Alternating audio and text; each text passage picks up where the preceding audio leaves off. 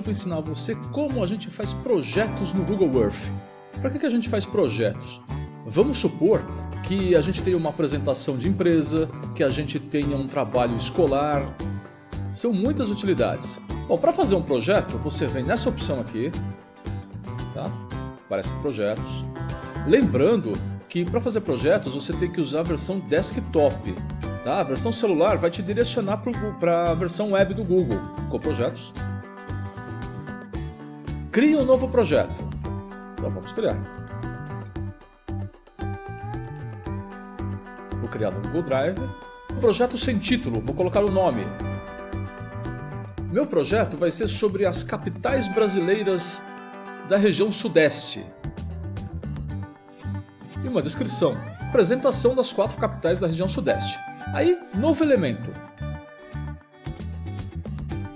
Novo elemento. Vamos pesquisar um lugar para adicionar. Então, São Paulo. Você vê que conforme você adiciona, ele já vai te direcionando para a cidade. E aqui tem as informações básicas do Google Earth. Escolhi a cidade, adiciona ao projeto. São Paulo. Poderia mudar? Poderia, mas eu vou deixar São Paulo.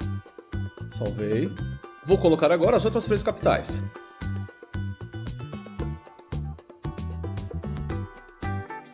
Rio de Janeiro.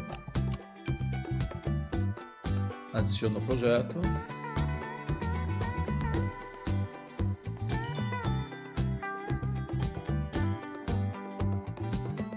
Belo Horizonte.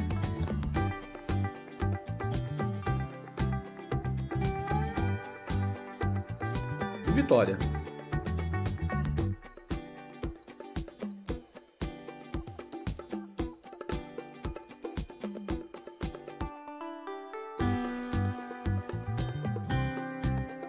Se eu apresentar agora, vamos ver como é que fica.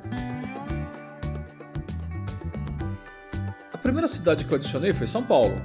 Clico aqui no sinal de maior, que seria a seta para a direita. Vou para o Rio, que é o segundo. Clicando mais uma vez. Para BH. Por fim, Vitória. Lembrando que aqui na lateral tem todas as opções que você já conhece do Google Earth. Tá, você pode habilitar o Street View, fazer 3D, pode posicionar na cidade que você está, enfim, aqui é tudo igual. Vamos colocando zoom.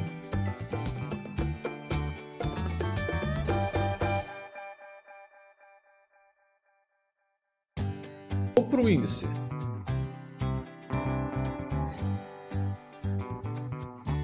Voltei para São Paulo.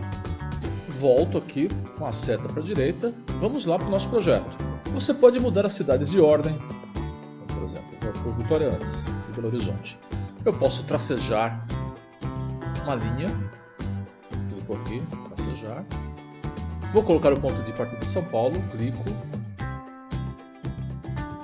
Até o Rio, clico. Posso continuar até BH, clico. Aí venho até Vitória então, 30, salvou. Eu posso também editar as informações de uma cidade. Vamos ver como é que a gente faz isso.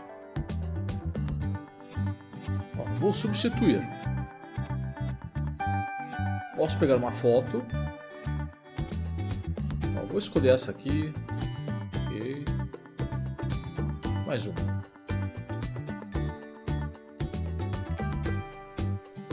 São Paulo, marginais. Posso editar o texto que vai aparecer. Posso colocar aqui, por exemplo, o site da prefeitura.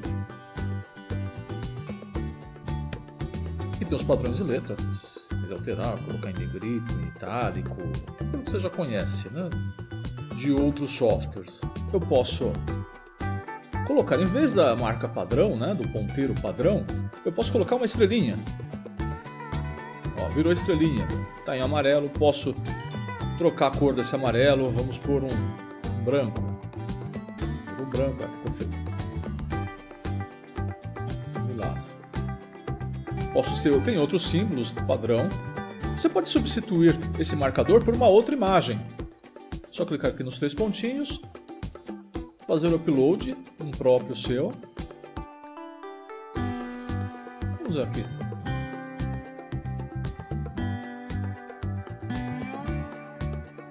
Olha lá, tá vendo? O ícone do canal aparece aqui no meu marcador. Foi tudo alterado, o padrão Google foi alterado conforme eu quero. Outras opções você pode pôr um texto do rótulo, você pode mudar o tamanho. Ele pede para salvar o projeto. Vamos visualizar? Você vê aqui que aquela caixa padrão que o Google mostra foi alterada, as imagens que eu escolhi.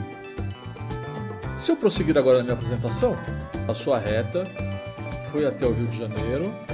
E aqui você vê a informação padrão do Google sobre o Rio de Janeiro. Próximo item. Fui para Vitória. Daqui seguir para Belo Horizonte.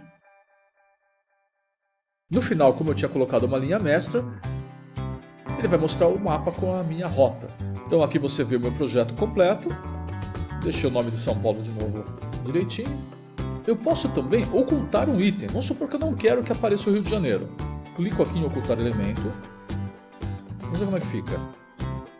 Começou em São Paulo, número 1. Agora eu cliquei.